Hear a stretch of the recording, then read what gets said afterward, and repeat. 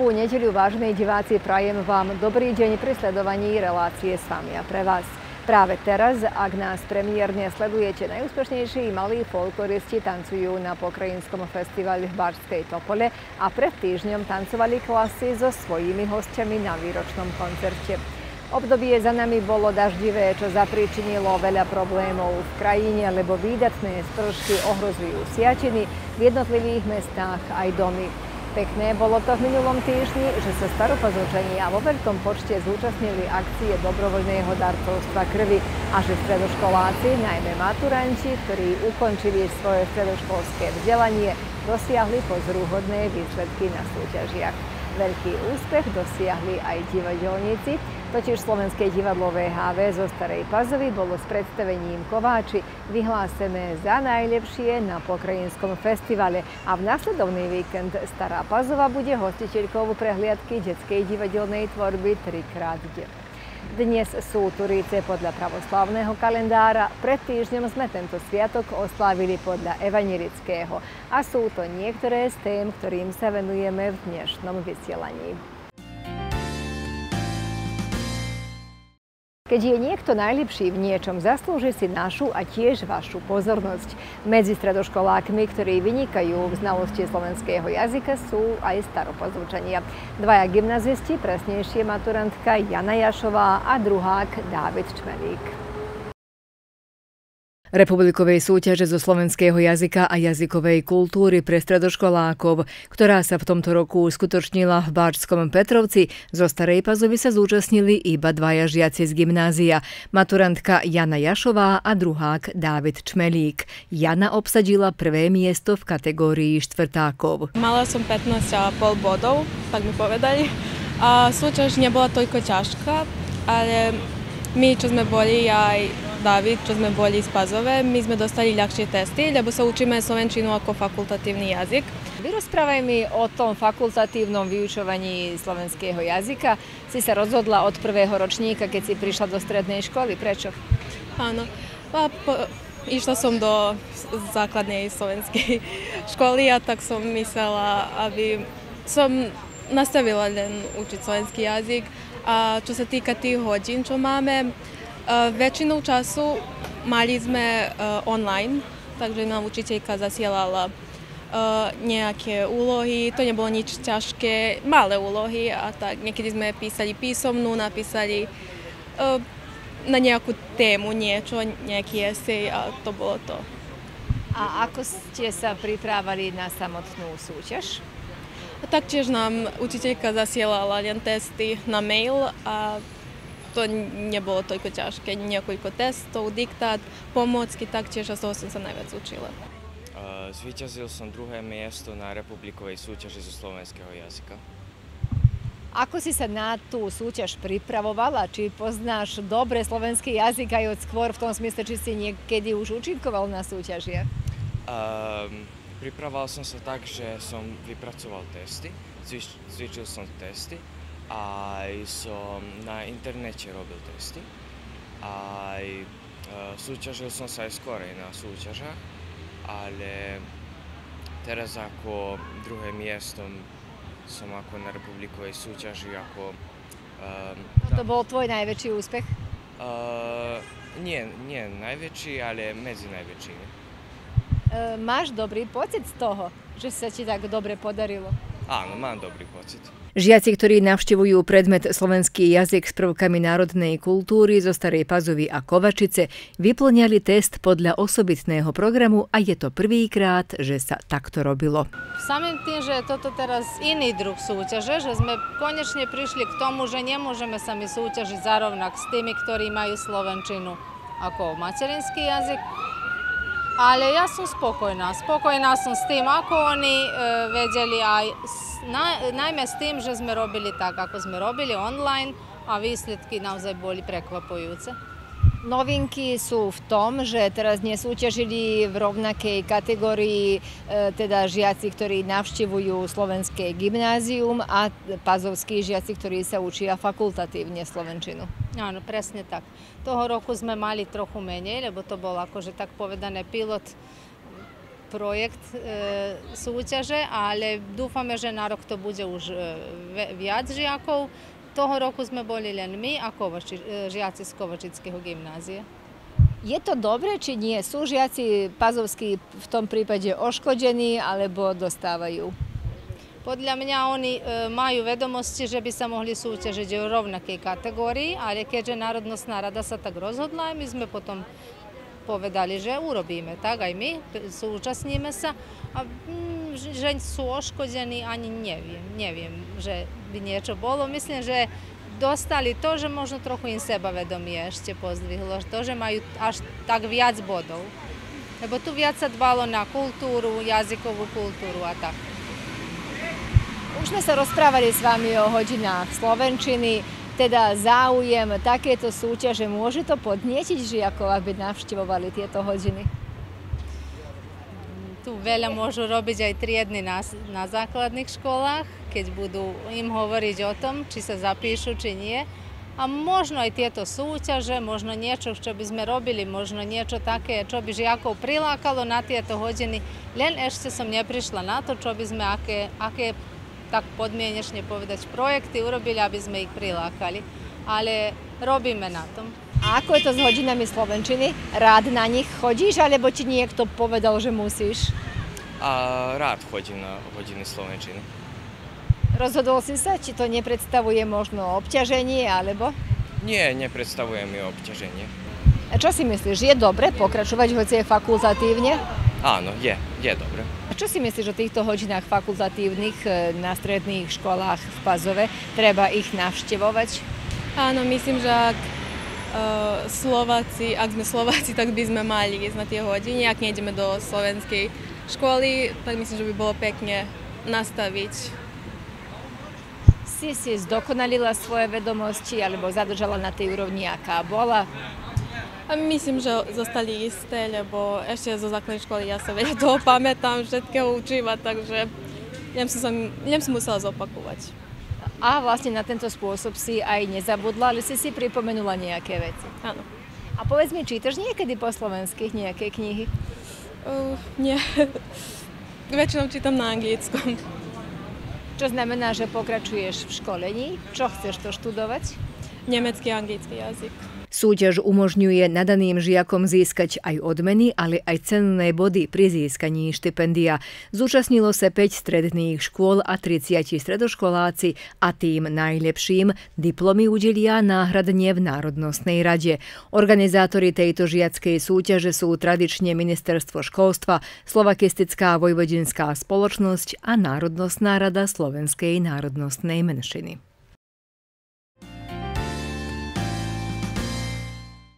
Slovenské divadlo VHV zo Starej Pazovy sa s predstavením Kováči v réžii Alexandra Baka stalo najlepším na pokrajinskom divadelnom festivale.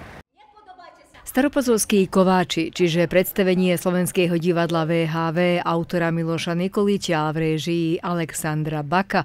Najlepším sú predstavením na 59. festivale ochotníckých divadiel Vojvodiny, ktorý prebiehal v Barskej palanke polovicou mája. Staropazovčania si získali aj cenu za réžiu a scenografiu. Janko Šarkézi si odniesol cenu za najlepšieho herca festivalu a diplomy za herecké stvárnenia postav Zlav získali Marína Baková a Alexander Bako. Keby si nebol sa vrátil z ruského frontu a tiež by nebolo jeho, mal by si syna? Nemal by som. Mali by potom tvoja kováčia, tvoj dom, následníka? Nemali. Nemali. A keby si nebol na ruskom fronte, ale keby si býval doma, myslíš si, že by on bol otcom tvojho syna? Kto? On! On. On! Ide o malú scénu a predstavenie, ktoré si hneď na začiatku našlo cestu k obecenstvu, ale aj odborníci vysoko ho ohodnotili. Myslím, že celá tá moja ideja e, so scenografiou, s režiou, ale potom herecká ekipa, ktorá je, myslím, v tomto momente naj, najsilnejšia alebo najlepšia, keď ide o, o pazov, o hercov, ktorých máme jednoducho ukazovalo na to, že, že predstavenie naozaj bude, bude mať svoj, uh, svoj úspech, i, ale nevedeli sme dok ja Bako podotkol, že aj v Lani bolo na vojvodenskej prehliadke najúspešnejšie predstavenie zo Staropazovskej obce, čiže divadlo Šopálovič z Novej Pazovia v jeho réžii.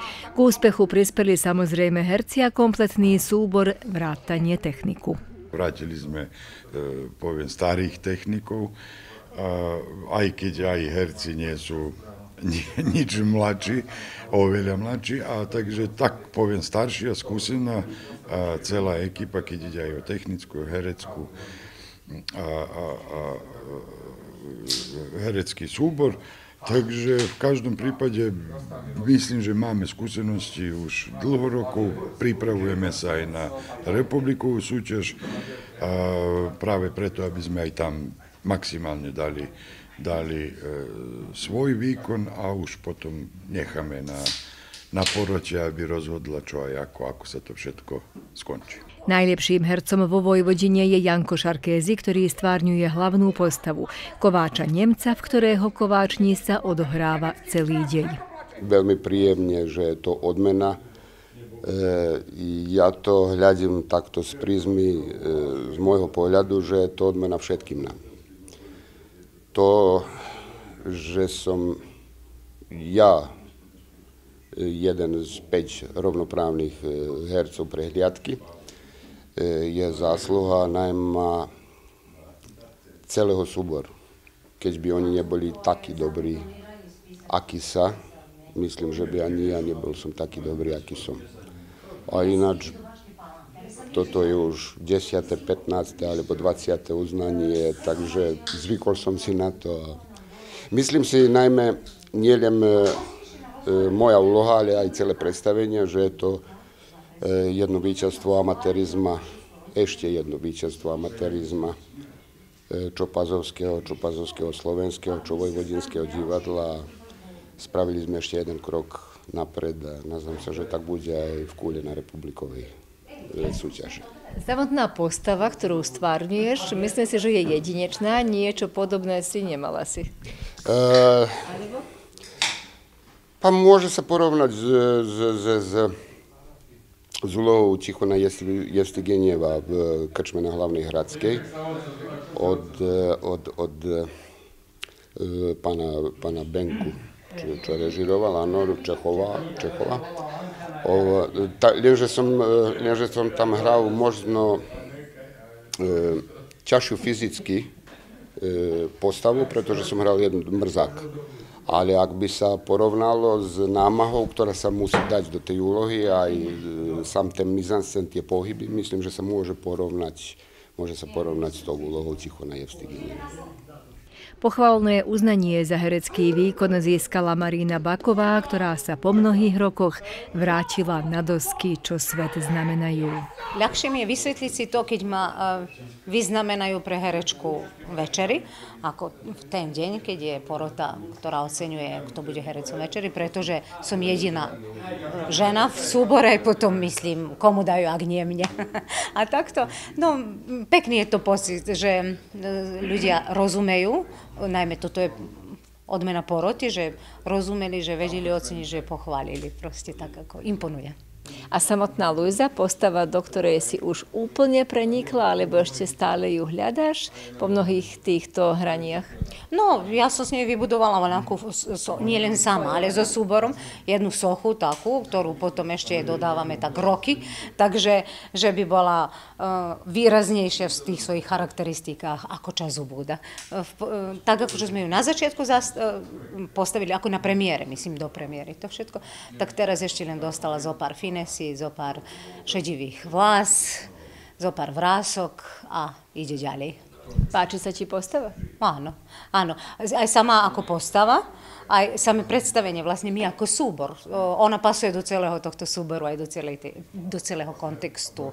A mne sa zdá, že je kontext úplne pacifistický. E, každú vojnu, o každej e, vojne môže svedčiť, že je bezvýznamná že nemá zmysel a že je paradox. Takže uh, najviac sa mi páči, ako Luisa v tomto predstavení so svojimi všetkými charakteristikami, ale v tom celom rámci predstavenia. Okrem ocenení odbornej poroty hercom mnoho znamená reakcia a potlesk obecenstva, ktoré všade veľmi dobre prijalo toto predstavenie, hovorí režisér, ktorý sa aj sám zjavuje v epizódnej úlohe, ktorá bola odmenená. Takže sa usilujeme, aby vlastne sa možno aj viac raz hralo, ale uh, nie preto, ale vlastne sme ju položili tak, aby to bol taký, uh, taký fluid medzi, medzi obecenstvom a medzi nami na scéne, vlastne hereckou ekipu. A aj myslím, že je to veľmi dobre, lebo kde sme hrali, hrali sme už aj na veľkých scénach, vlastne, aby obecenstvo bolo bolo trošku vzdialené od nás. E, bolo dobré aj tam, nemôžem povedať, ale keď ide o ten umelecký zážitok, aj vôbec o, o najmä tie poroty, ktoré nás hľadeli aj ktoré, ktoré sa trošku zmienili o týchto predstaveniach, o tomto predstavení vlastne, a v princípe povedali, že im to možno e, najviac ich zvádza do samého predstavenia, čo ich na voľaký spôsob je. Možno obecenstvo aj nie je zvyknuté, aj keď naše je, lebo sme často mávali malé scény, ale v niektorých prostrediach možno nie sú toľko zvyknutí, ale zase e, poviem to, že obecenstvo nemusí sa smiať celý čas, nemusí, e, dajme tomu aj tej Bačskej palanky, keď sme hrali, nebolo taký E, efekt toho, ako čo vie byť pazové, alebo neviem, boli sme RDV-ku, pivnici, kde publika od prvého momentu za plauzami až 20 krát nás pretrháva, alebo ale e, toto bolo také, že sa cítilo, že ľudia, bolo ľudia, čo nerozumeli slovenský jazyk, aj keď e, bolo dosť Slovákov z Batskej palanky, ktorí nás prišli hľadiť, ale ktorí hamblivo tak reagovali, takže nebola tá atmosféra, ale všetci po predstavení povedali, že sa im veľmi páčilo, že vlastne boli na, na meter od, od herca, od celého, celej situácii, ktorá sa stáva, i že vlastne ich to zviedlo do tej celej atmosfére, že nemusia sa smiať, ale že veľmi príjemne zažili celé predstavenie sama porota povedala, že, že niektoré situácie, že aj obecenstvo, keď schádzalo, že prechádza cez javisko, že si hľada miesto, kde si sadne a tak, že vlastne už s tým začalo predstavenie žiť. Odmeny sú o to významnejšie, lebo je toto rok, keď Pazovské divadlo oslavuje 120 rokov pôsobenia. To je krásna, krásna vec, lebo vlastne toto predstavenie sme prichystali na, na narodeniny divadla, na 120. narodeniny, takže normálne, že je to krásne, keď toto predstavenie bolo zahrané 2. februára premiérne, potom sme už získali prvú cenu na Sriemskej súťaže, prvú cenu teraz na Vojvodinskej. Ešte nám zostáva, aby sme boli, boli aspoň medzi tri, eh, keď ide o republiku a ja budem veľmi spokojný s tým. V predstavení hrajú ešte Igor Piskla a Zdenko Kožík a možno usúdiť, že si kováči ukuli dobrý základ. V tom pokračujú, lebo každé nové predvedenie je o nuansu lepšie. Okrem účasti na republikovej súťaži v Kúle očakáva ich aj rad vystúpení v našich prostrediach a majú nádej, že toto predstavenie bude dlho žiť.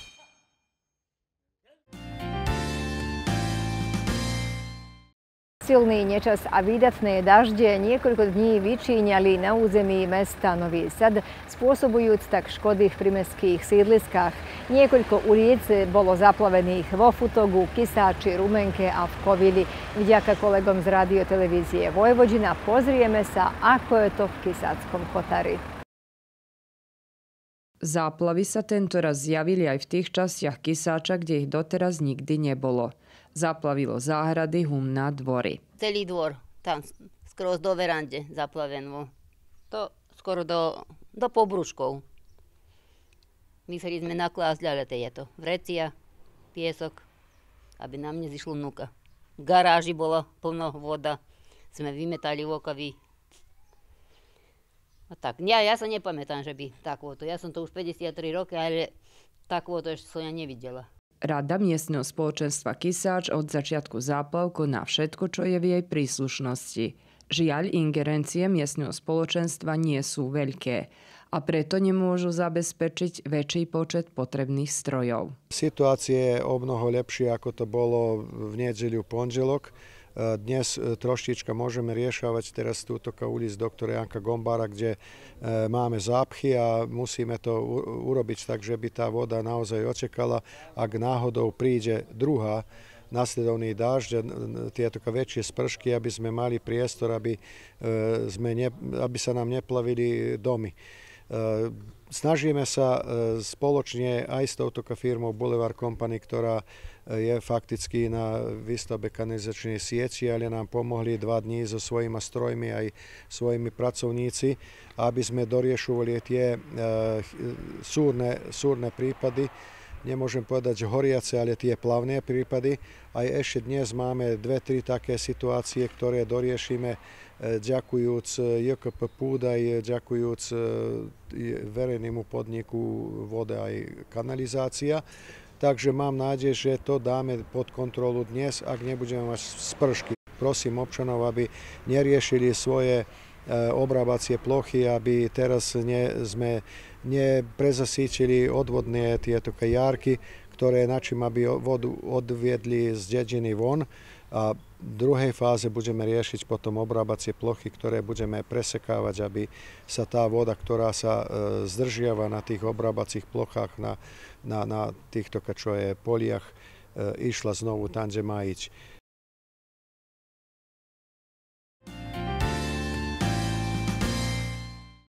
Červený kríž obce Stará Pazova zorganizoval v posledný májový deň mimoriadnú akciu dobrovoľného darcovstva krvi.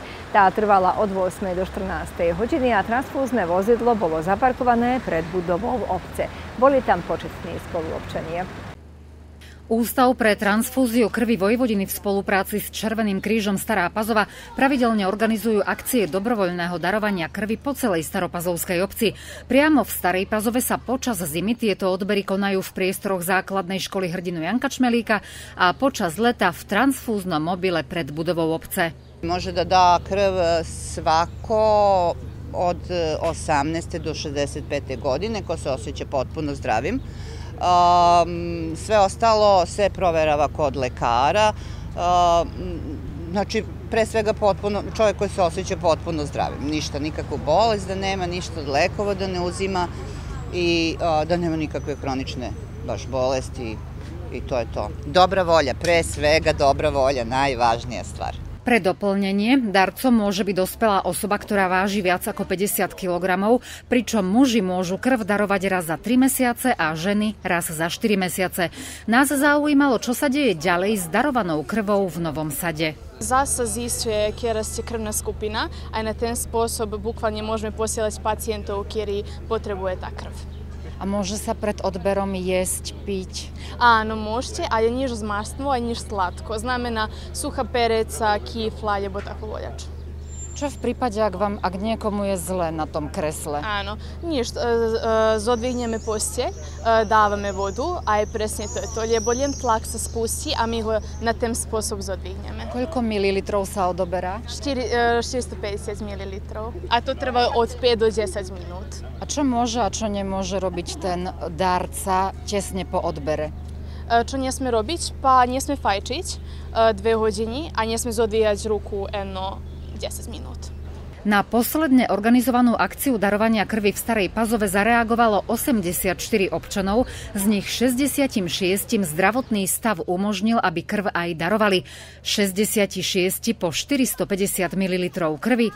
Staropazovčania spolu darovali 29,7 litrov, čo je obrovské bohatstvo. To taká už štvrtýkrát, čo som prišiel. A dávam jednoducho skrz skrz, najviac skrz toho, že proste chcem pomôcť tým ľuďom, ktorí to potrebujú, pretože sa ako osobne nikdy nevieš, kedy aj sám budeš potrebovať, tak radšej proste, keď máš možnosť, dáš. A z druhej strane aj jednoducho chcem proste podporiť tú takú in, iniciatívu.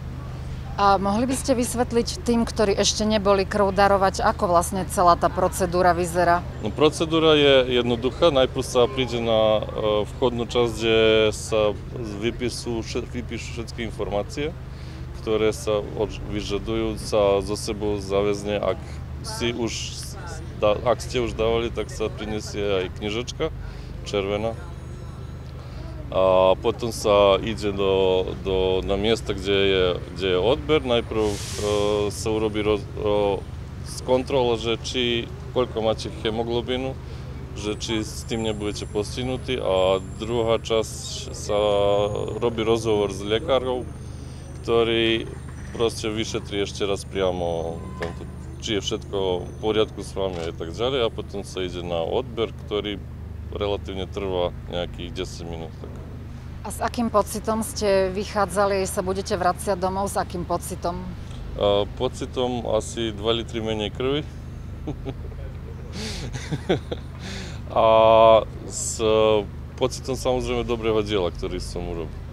14. júna bude Červený kríž slávnostne odovzdávať ďakovné listy jubilejným darcom zo Staropazovskej obce. Svake godine mi 14. júna, kad je Svetski dan davaoca krvi, uručujemo jubilarna priznanja za one davaoce koji su u prethodnoj godini to jubilarno davanje dali. To su 5, 10, 20, 35, 50, 75, 100 i dalje. Ovaj, ove godine imamo i 50-ih i 75 i 100, mislim što je onako vrlo ovaj, indikativno. Zamislite da, da neko svo, evo imamo čoveka koji je zadnje mu je davanje bilo 100 i puni ove godine puni 65 godina i ne može više da daje. Znači za svoj životni vek on je 100 puta dao krv. Prioritou je každá krvná skupina, pretože táto vzácna červená tekutina sa nedá nikde kúpiť ani umelo vyrobiť a dôležité je mať krv pre každého, kto ju potrebuje. Na budúcu akciu príďte aj vy, odchádzať budete s tým najkrajším pocitom.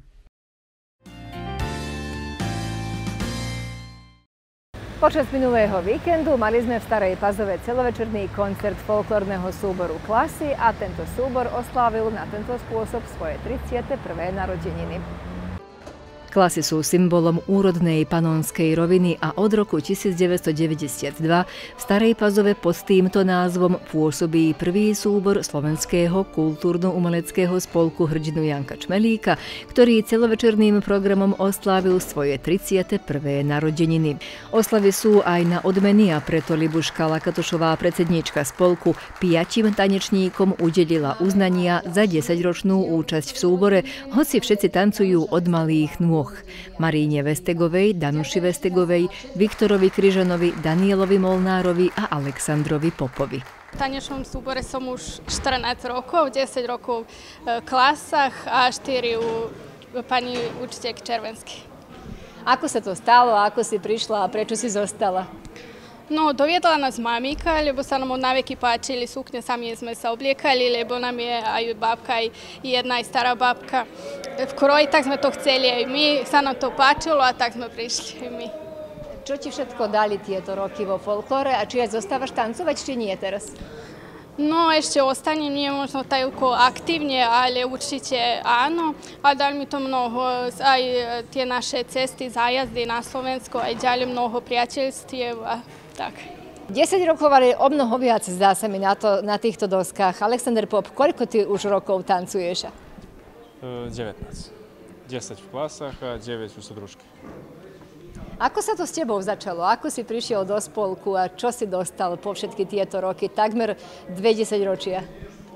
Pa, otec tancoval, tak som aj ja potom aj brat bol e, tú spolku, potom trocha aj v základnej škole bolo tancovať sa. Doneslo mi predovšetkým kamarátov, aj tu v súbore, aj mimo, v druhých súboroch, aj lásku. Zostávaš tancovať, či nie? Zostanem, ale nie toľko aktívne. Koľko budem stíhať, tak budem tu.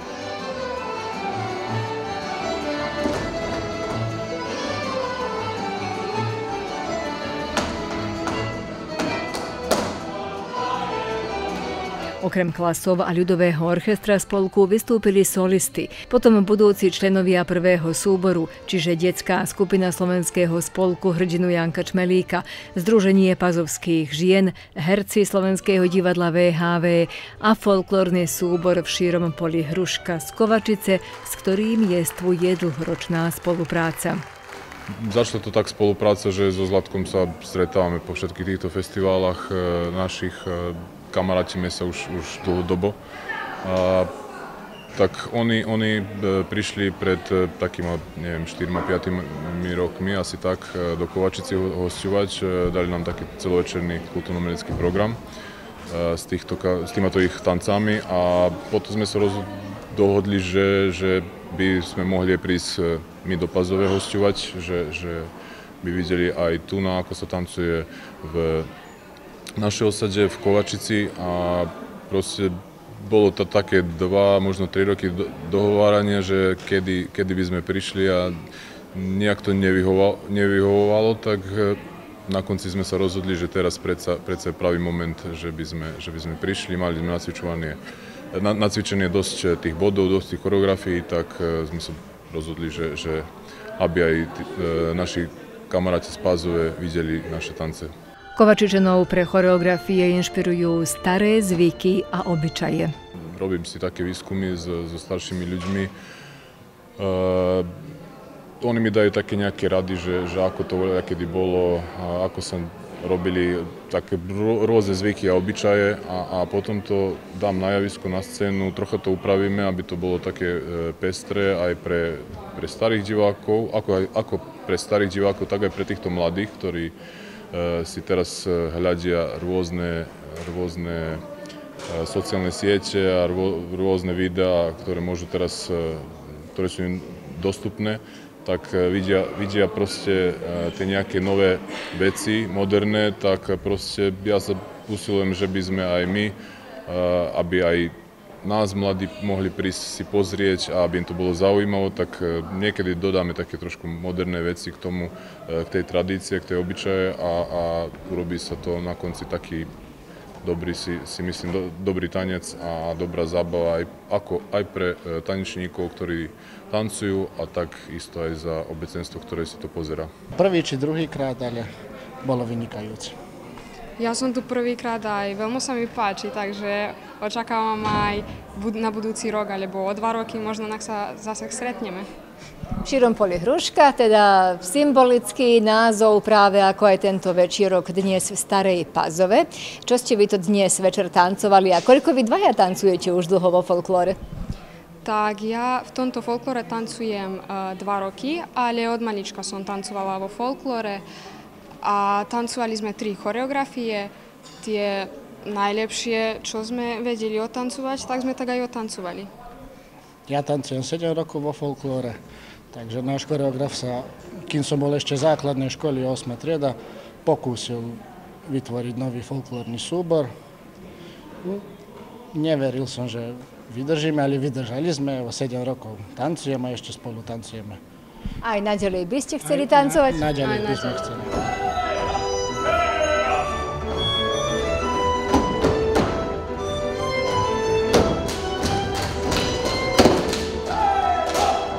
Ja som plný, plný dojmov a som sa prekvapil, že, že aký e, bohatý kultúrno-umelecký program e, si si pestujú e, Staré Pazove, aj vôbec tie tance ich mám, mám veľmi rád.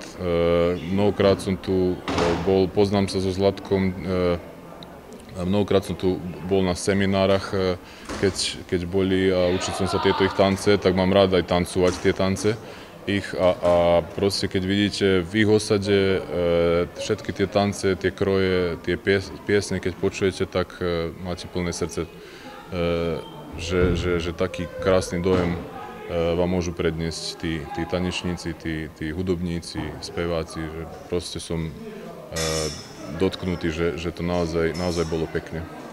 Pre koncerty klasov je príznačné to, že sa vždy nesú v znamení nejakej témy a tentokrát to boli poľné práce v programe pod názvom Topazovsko pole na peknej rovine.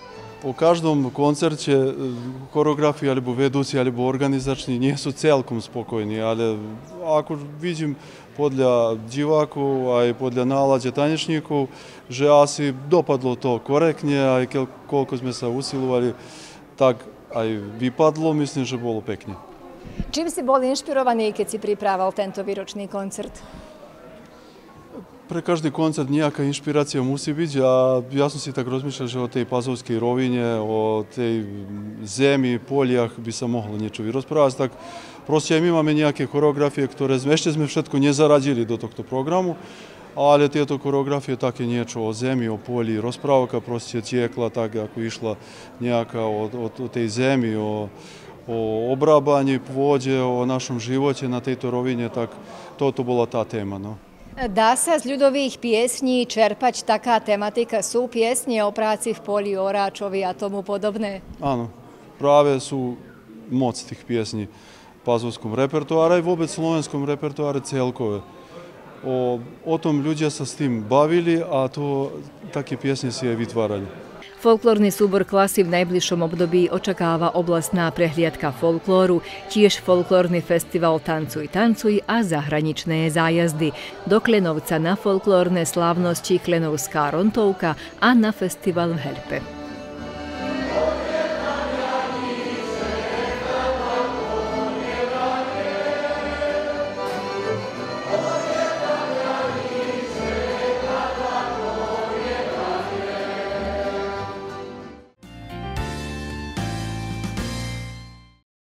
Sme si zvykli, že je jún v znamení prehliadky detskej divadelnej tvorby trikrát die v Starej Pazove. Tak bude aj v tomto roku, ak sa nemýlim 10. júna. A či mám pravdu, to povie moja spolubesednička Miruška Kočišová, koordinátorka tohto festivalu. Teda bude to ten dátum? Áno, máte pravdu. 10. júna Stará Pazova je znovu hostiteľkou eh, prehliadky detskej divadelnej tvorby trikrát D. Tešíme sa, že znovu môžeme otvoriť brány Divadelného kráľovstva do Korán. Toho roku na detskej divadelnej prehliadke uvidíme štyri súbory. A ešte, čo je takou možno kuriozitou tohto ročnej prehliadke je, že ono bude revuálneho rázu, teda festival nebude súťažný. Spolu s organizačnou správnou radou aj ostatní organizátori a zakladatelia tohto festivalu prišli na to, že proste tento rok, aby bol e, takého rázu, vlastne prehliadka by bola takého rázu, lebo e, v rámci tých prihlášok, keď sa dostali prihlášky, tak mali sme iba jedno súťažné predstavenie. Vlastne tie predstavenia, ktoré sa prihlásili, zo všetkých tých iba jedno podľa pravidiel malo nárok na súťažné. Ostatné e, teda e, budú e, ostatné razom sa uzavrelo, že sú nesúťažné, no takže proste celý festival dáme ho do takého revuálneho charakteru. Povedzme, že aj tohto roku sa na prehliadke zúčastní Stará Pazova, predstaviteľia základnej školy hrdinu Janka Čmelíka, a keďže zahrajú upravené predstavenie, to, ktoré sme v Lani videli, tak rozhodne e, nemôžu súťažiť. Teda žiaci základnej školy hrdinu Janka Čmelíka, oni aj otvoria túto prehliadku. A druhý na prehliadke vystúpia Selenčania. Uh, oni zahrajú predstavenie na motívy ľudovej rozprávky Volga 7 kozliatok a prichádzajú zo základnej školy Jána Kolára. Tretí sa na prehliadku prihlásili pivničania. Oni majú kombináciu predstavenia také, že dospelí pre deti a deti pre deti, teda také dve kategórie zhrnuli do jedného. S nimi spolupracoval náš známy e, režisér Ľuboslav Majera. A na motívy rozprávky Viery Benkovej e, spracovali ten text do divadelného predstavenia a je to pod názvom Pusťte basu do rozhlasu. No, e, plán bol aj taký, že na tohto ročnej prehliadke uvidíme aj Slovenské vojvodinské divadlo. Príbeh krajiny, nekrajiny, krásne divadelné predstavenie, no žiaľ e, z technických dôvodov oni sa prehliadke nemôžu zúčastniť. Takže sme sa rozhodli, že pozveme na našu prehliadku najlepšie divadelné predstavenie z pokrajinskej e, prehliadky detskej divadelnej tvorby. E, to najlepšie divadelné predstavenie prichádza z Kleku. E, sú to žiaci základnej školy Jovana Dučiťa a prichádzajú tiež so zaujímavým predstavením, ktoré sa volá Mnogo Nemira oko Šekspíra. Oni spracovali teda aj kúsok e, z hry Romeo a Julia a veľmi sme zvedaví teda, ako to dopadne na našich doskách. Samozrejme, všetko to bude prebiehať v sobotu 10. júna. E, ktorých termínoch, aby sme zároveň aj vyzvali divákov? Vítaní ste od 10. hodiny v Staropazovskej divadelnej sieni, teda ten náš ustálený priestor. Medzi predstaveniami ešte to som chcela podotknúť, že ponúkneme aj také zaujímavé obsahy pre deti, takže určite aj medzi predstaveniami sa budú mať naši divadelníci a diváci na čo tešiť. Teda od 10. sa začne prehliadka, pôjde predstavenie za predstavením a ešte čo je zaujímavé a čo by som chcela podotknúť, že na tejto divadelnej prehliadke vzhľadom na to, že proste je fakt, že roky je čoraz menej predstavení, čoraz menej súborov. Už pár rokov sa rozprávalo o tom, že aké sú dôvody, čo sú dôvody. Nebudeme ich opakovať, všetci už pomaly vieme, ale je potrebné niečo podniknúť a niečo podnikli zo Slovenského vojvodinského divadla. Zapojili sa do spoločného projektu zo Slovenskej republiky a urobili taký projekt, ktorý sa volá My sme. Je to zaujímavý projekt, predstavia nám ho tu v Starej Pazove a on je usmernený pre všetkých tých, ktorí sa chcú zaoberať divadlom, ktorí chcú hrať v divadle, ale aj pre všetkých tých, ktorí chcú recitovať. Pre recitačných pedagógov, pre budúcich recitátorov, ale aj terajších. Verím, že sa mnoho toho budeme môcť naučiť z toho projektu, teda len ho predstavia tu na, a potom všetci tí, ktorí sa budú chcieť do toho zapojiť v nasledovnom období, takom dlhšom období, budú môcť byť súčasťou toho a veľmi sme zvedaví a s netrpezlivosťou očakávame na tie výstupy toho projektu.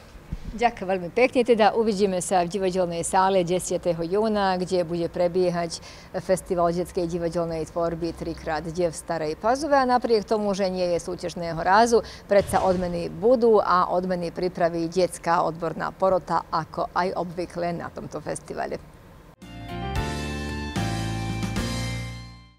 Sviatky zoslania Ducha Svetého sú vyvrcholením slávnostnej časti cirkevného roka. Duch Svetý bol zoslaný z nebies na 50. deň po zmrtvých staní Ježiša Krista. A na tému Svetej Trojice dnes sa bude zamýšľať pani farárka Lalická Zuzana Poničanová.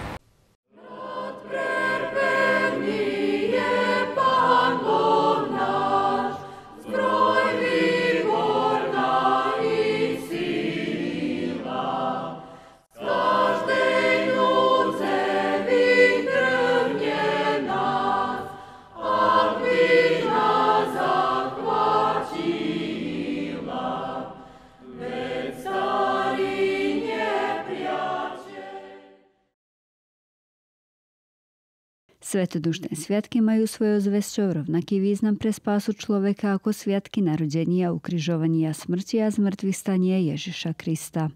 Tieto cirkevné slávnosti nám približujú udalosť, ktorou vrcholí spasiteľné dielo Ježiša Krista – počnúť s jeho narodením cez smrť a zmrtvý stanie až po jeho návrat do neba a zaujatie miesta na pravici Boha Otca. 50. deň boli učeníci ešte v takom, v takom strachu zhromaždení v Jeruzaleme. Pán Ježiš im hovoril, nezostávaj, neodchádzajte z miesta, kým vás nevystrojím mocou z výsosti. Teda to, čo som vám zasľúbil, to vám aj pošlem. A to bude ten paraklétos po grécky, to bude ten učiteľ, utešiteľ, pomocník, radca, orodovník a teda príhovorca za vás u mňa.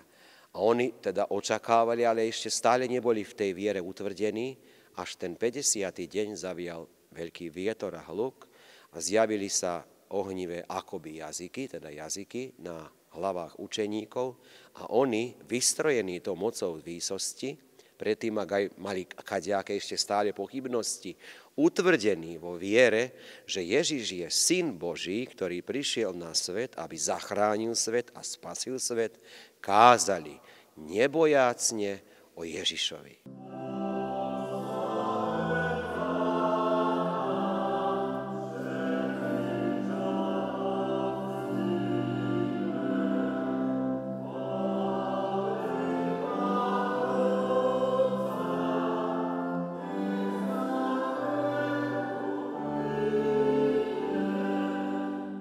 Slavnosti zoslania Ducha Svetého v nás utvrdzujú vieru, že kto prosí o dar Ducha Svetého, zostane posilnenie pre svoj duchovný život a odvahu bez bázne a strachu, byť svetkom Božím a svetkom Ježiša Krista.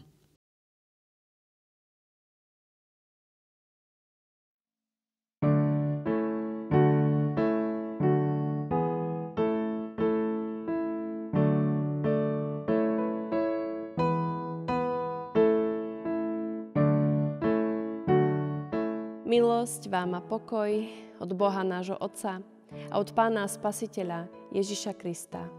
Amen. Bratia a sestry, vypočujte si slova písma svätého, ako ich nachádzame napísané v druhom liste Apoštola Pavla Korinským v 13. kapitole v 13. verši mene Božom takto. Milosť Pána Ježiša Krista a láska Božia a účastenstvo Ducha Svetého so všetkými vami. Amen. Dnešný biblický text, ktorý dôverne poznáme ako pokázňové požehnanie, nám hovorí o tom, čo nám trojediný Boh ponúka a čo môžeme my ako veriaci v Neho prijať. Sú to záverečné slova, záverečné požehnanie, ktoré adresoval apoštol Pavol do zboru v Korinte. Je to jediné miesto v Biblii, v ktorom je pri požehnaní spomenutý aj Otec, aj Syn, aj Duch Svetý. Apoštol Pavol zrejme chcel, aby kresťania v Korinte prijali všetko požehnanie, ktoré dáva Boh. Apoštol hovorí o milosti, ktorú spája s Ježišom. Hovorí o láske, ktorá je spojená s Bohom a napokon o spoločenstve, ktoré je späté s Duchom Svetým. Požehnanie je charakteristické tým, že na prvom mieste je daný Ježiš Kristus, ktorý ponúka svoju milosť. V starej zmluve sa milosť viazala k Bohu. Ale odkedy prišiel Boh na zem v podobe Ježiša Krista, tak od tej chvíle je milosť viazaná práve na Neho.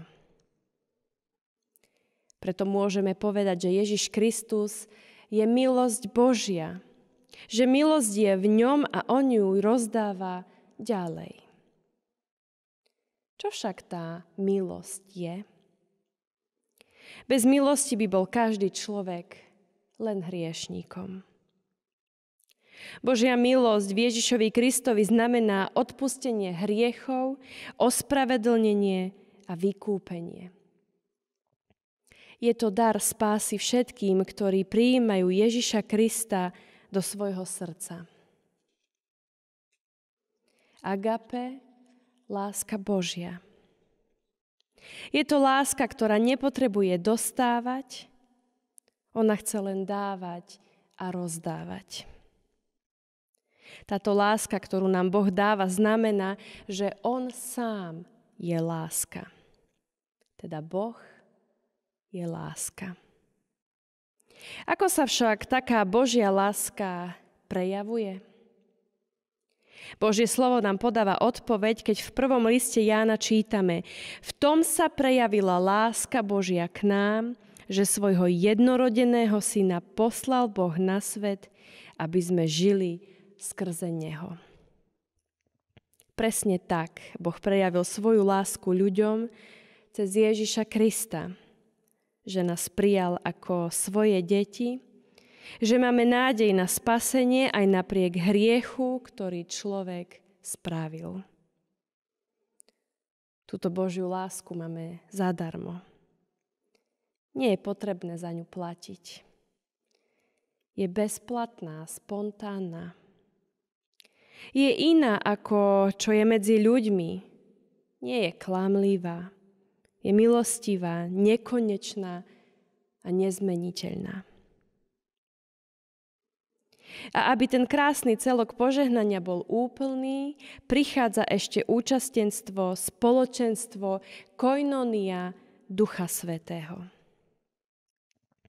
Ježiš Kristus dal svojim učeníkom radcu, učiteľa, Ducha Svetého, aby neboli sami, aby neustále cítili Božiu prítomnosť pri sebe. Aby mohli v každom čase a za každých okolností zdieľať spolu s ním svoje myšlienky, pocity, postoje, rozhodnutia. A túto možnosť dostávame aj my. Preto pestujme každodenné spoločenstvo s Duchom Svetým. Túžme potom, aby sme sa zaviazali budovať náš život v jeho spoločenstve. Rozvíjajme ho prostredníctvom rozhovoru. Prosme o jeho prítomnosť každé ráno, prosme o jeho pomoc, zdieľajme s ním radosti, ale aj starosti. Duch Boží chce byť s tebou v spoločenstve. Chce mať účasť v tvojom živote. Stačí, ak budeš o Neho prosiť v modlitbe.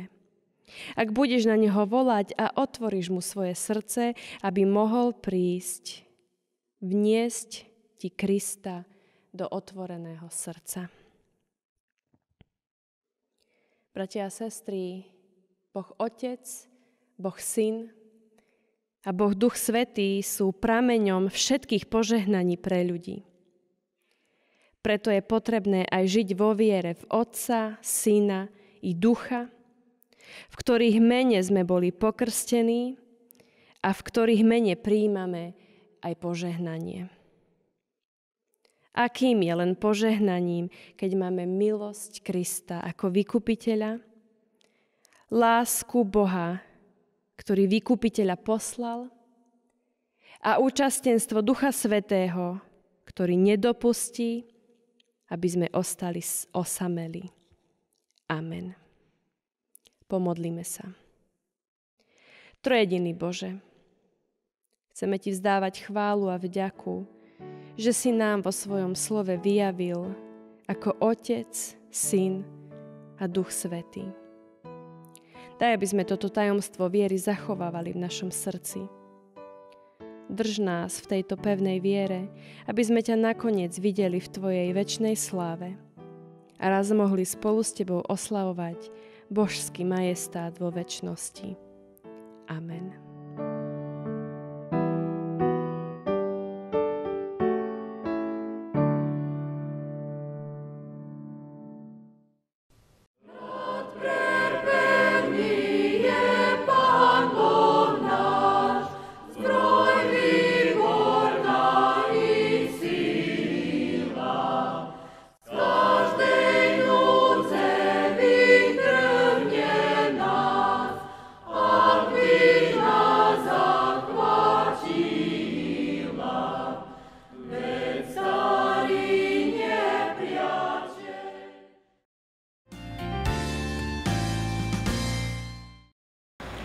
Nádejou, že nám jún prinesie trochu teplejšie počasie bez spršok, ktorých bolo naozaj dosť, lebo aj poľnohospodársky odborníci hovoria, že pôda je už naozaj zasítená vlhkosťou, že dažďu viacej rastliny nepotrebujú, ale slnko. Končíme toto dnešné vysielanie. Tešíme sa na nové stretnutie a dovtedy vám prajeme všetko dobré. Dovidenia.